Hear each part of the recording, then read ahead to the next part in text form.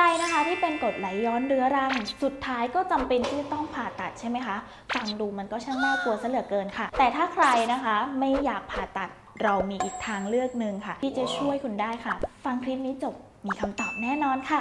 กรดไหลย้อนเรื้อรังนะคะ ปัญหาหลักๆของมันเลยก็คือ หูรูดกระเพาะอาหารด้านบนมันเสื่อมค่ะ ฟื้นฟูไม่ได้ ไม่ว่าเราจะปรับพฤติกรรมยังไงนะคะ ก็ไม่มีทางดีขึ้นแน่นอนค่ะ ทางออกในเรื่องนี้ง่าย ๆค่ะ ก็คือ